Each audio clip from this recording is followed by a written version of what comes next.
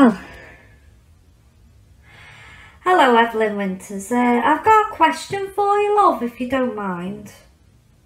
I've written a book, right, and I want to get it published into print. And I've got to format it professionally using a KDP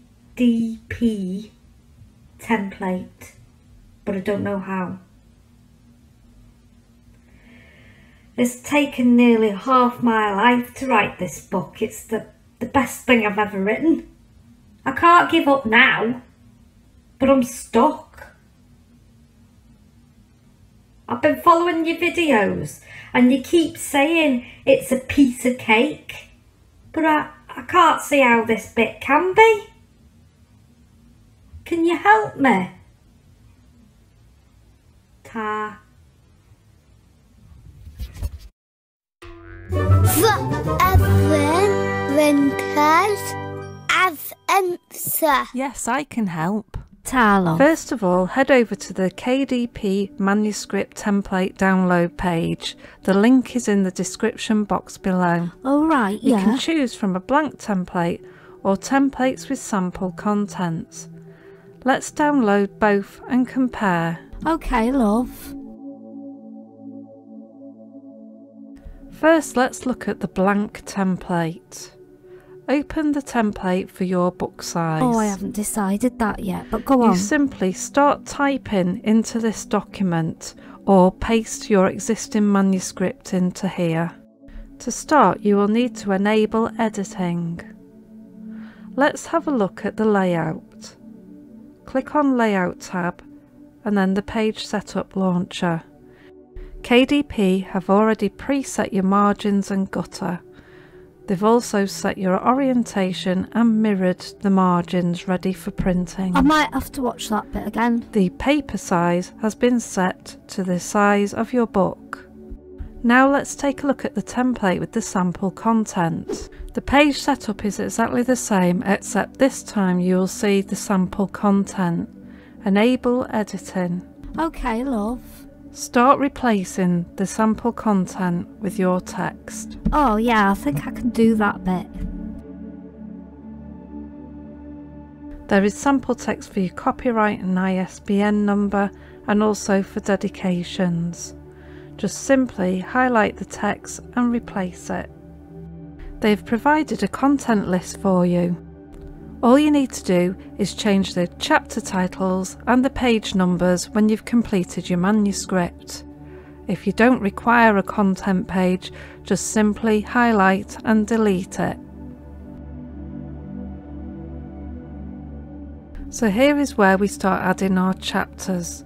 So they've given you a chapter title and then your chapter content. Let's have a look at the formatting. It's here we can see things such as the page breaks. Select the Home tab and then click on the Show Hide icon. Here is the break which separates each chapter. Select the sample text and delete if you're writing your book, or keep it selected and copy your original manuscript. We have to do this chapter by chapter, so look for chapter 1 and copy.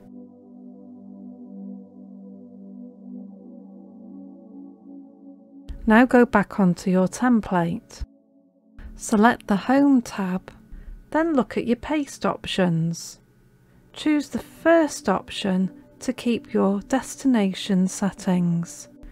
If the formatting is different on your original manuscript and you'd like to keep this, then choose the source formatting option. Now let's look at the page headers. Double click to activate the header and footer ribbon. You can either have your book title showing on every page, or you can select different for odd and even pages. This will allow us to add the book title and our author name, and they will appear adjacent to each other. Oh, hey, I didn't know you could do that. I think I'll do that with mine.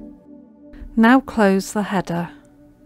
As you can see, the book title and the author name appear on odd and even pages throughout the manuscript, however, not on the first page of your chapter. All right, yeah. The template provides the page numbers. You can edit these by double clicking in the footer and select page number on your header and footer ribbon.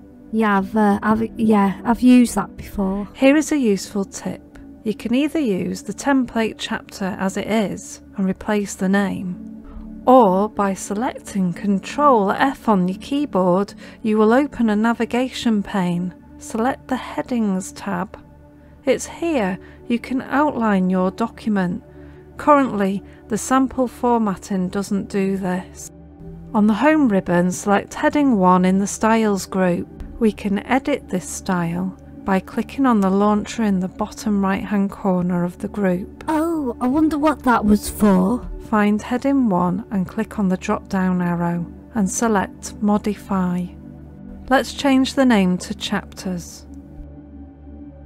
Then change the formatting of your choice. At the bottom left of the dialog box, select Format, then Paragraph. Change before spacing to zero and line spacing to single. As you can see, our Chapter 1 heading is now outlined in the heading section. Now let's apply our new style to all the chapters in our manuscript. As we do this, they all appear in our heading list.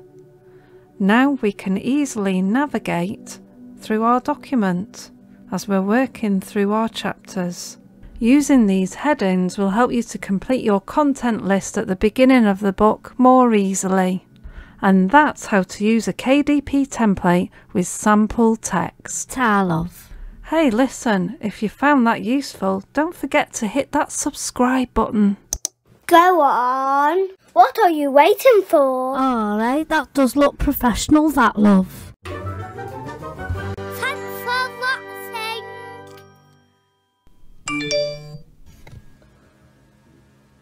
Hi Evelyn Winters, uh, it's me again. Uh, I just wanted to say a great big tar love uh, for the help you've given with my manuscript.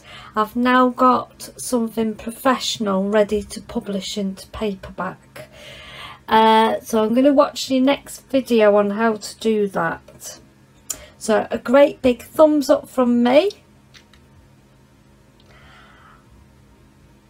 I've just got my book cover to do as well. Uh, I'm sure there's a video on that as well.